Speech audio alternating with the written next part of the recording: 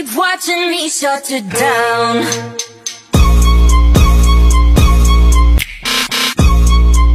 Blackpink in your area. Yeah. Word.